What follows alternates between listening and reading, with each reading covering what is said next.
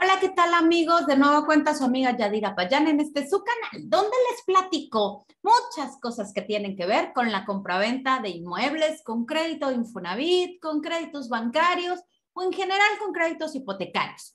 Em, fíjense que les dije que estaba volviendo a los orígenes con respecto al contenido que les estoy publicando y he estado poniendo mucha, mucha atención a las preguntas que ustedes me hacen en cada uno de mis videos. Y precisamente con esas preguntas fue que decidí volver a los orígenes. ¿Qué son los orígenes? El inicio, de dónde nace todo. Es decir, cuando yo quiero comprar una casa, ¿qué es lo primerito que tengo que hacer? ¿Qué es lo primerito en lo que me tengo que fijar? Pues justo en uno de los videos pasados, donde les hablé incluso ya de, ah, una vez que terminas de pagar tu crédito, ¿qué es lo que sigue? Les puse mucha atención porque me pusieron comentarios en Facebook, en YouTube e incluso me mandaron comentarios por Messenger donde me decían, oye Yadi, yo todavía estoy pagando mi crédito. Cuando termine, ¿tengo que hacer lo mismo? Y la respuesta es sí, siempre y cuando las cosas no hayan cambiado. Porque, por ejemplo, este video lo estoy haciendo en julio del 2022.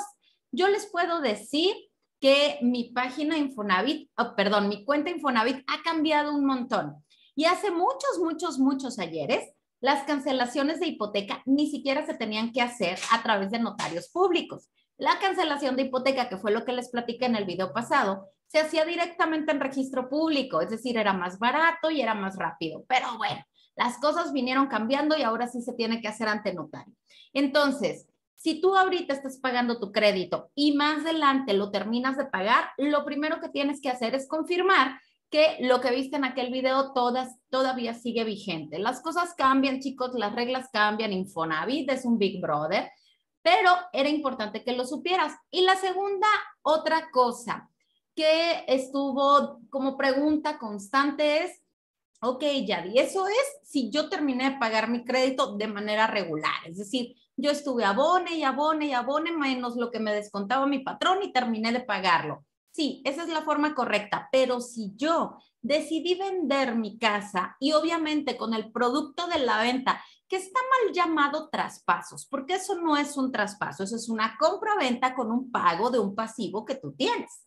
Entonces, cuando tú estás vendiendo tu casa donde aún la debes, ahí funciona un poquito diferente. En el video pasado yo te decía que tú liquidabas el crédito, tú tenías que solicitar la cancelación de hipoteca. Si decides vender tu casa eh, con otro crédito, por ejemplo, entonces ahí en la misma inscripción del crédito se va a señalar cuánto es lo que debes. De hecho, parte de los requisitos es que si tú debes la casa todavía y la estás vendiendo, tienes que solicitar una carta saldo condicionada a pago se llama. Si la debes al banco, se la pides al banco. Si la debes al Infonavit, se la pides al Infonavit. Si el que te va a comprar, te la va a comprar con un crédito de Infonavit, en la solicitud de crédito del Infonavit, ahí se establece que se le debe al Infonavit y que el resto tú pones la cuenta donde quieres que te paguen la diferencia. ¿Ok? Y en la misma escritura, el notario hace la cancelación de hipoteca y además hace la compraventa, pone el crédito del nuevo que te lo está comprando con crédito, etcétera. Lo mismo ocurre si tú debes la casa con el banco. Solicitas una carta saldo condicionada a pago y el notario que va a hacer la escritura de la persona que te la está comprando también establece en la misma escritura el primer acto jurídico que se libera la hipoteca, segundo acto jurídico viene la compraventa tercer acto jurídico, el crédito y así sucesivamente los demás actos jurídicos. ¿Ok? Entonces, si le estás vendiendo, pero todavía la debes, tú no tienes que hacer la cancelación de hipoteca a menos que la vayas a vender de contado. De contado hay que tener cuidado en algunos detalles que son muy particulares, sobre todo si eres el comprador y tú vas a comprar de contado y alguien que te va a vender la casa todavía la debe, ten mucho cuidado. Em, el ideal es que acudas a un notario para que te dé toda la asesoría y te diga el pasito a pasito a seguir. Si quieres que lo veamos tú y yo juntos en una llamada de Zoom, dentro de todos mis videos viene eh, la descripción de los mismos. Ahí viene un enlace donde puedes agendar una cita. Entonces, insisto, Si vas a comprar de contado y a quien le compras todavía la debe, ahí tienes que tener algunos detalles de mucho cuidado, ¿ok? Pero aún así, aunque compres de contado, en la misma escritura se puede hacer la cancelación de hipoteca y también se puede hacer la compraventa. Pero hice pausa porque esa es la situación más delicada donde tienes que tener mucho cuidado para que no salgas perdiendo si eres el comprador y vas a comprar de contado. Si eres el vendedor, es más conveniente también que te acerques a un notario para que les diga el pasito a pasito qué hacer para que no haya malos entendidos. ¿Ok? Entonces, recapitulemos. El proceso que se tiene que seguir cuando terminas de pagar tu crédito es el que te puse en el video pasado. Te dejo por aquí arribita el enlace por si no lo viste. Y si tú actualmente la debes, pero la vas a vender, en la misma operación, en la misma escritura, se pueden hacer todas las operaciones y no te tienes que esperar a hacer primero la cancelación de hipoteca.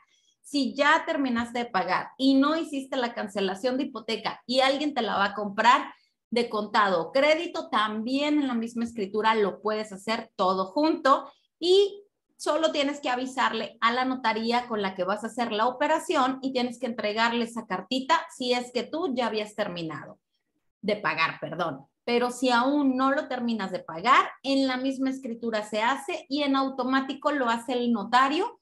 Si este es tu caso y terminaste de pagar vendiéndola y con el producto la venta se pagó lo que debías, lo único que tienes que hacer es después de que el Infonavit le pagó, perdón, después de que le pagaron al Infonavit lo que tú debías, entonces tienes que seguir entrando a mi cuenta Infonavit para asegurarte que tu cuenta ya está en ceros, descargar el aviso de retención y luego checar si tienes saldo a favor, ¿ok? Por el famoso bimestre de retraso. Entonces, prácticamente, insisto, vuelvo a los orígenes, a las preguntas básicas que discúlpenme, pero los asesores de pronto a veces como estamos en este ajetreo, se nos olvida, nos parece lógico y no lo es. No lo es para alguien que es su primera compraventa o para alguien que es la primera vez que liquida un crédito. Entonces, em, recuerda, te dejo por aquí el enlace del video del anterior donde te platiqué qué hacer en caso de terminar de pagar tu vivienda. E insisto, en la descripción de todos y cada uno de mis videos puedes encontrar enlaces que pueden ser de tu ayuda. Si quieres unirte al grupo de Facebook, si quieres una asesoría personalizada, si quieres, este, me estás siguiendo en YouTube y me quieres seguir en Facebook, ahí tienes todos los enlaces que puedas querer. En la descripción, si, si me estás viendo por Facebook, está arriba y si me estás viendo por YouTube, está bajito de este video. Muchas gracias y nos vemos en el siguiente video. Chao.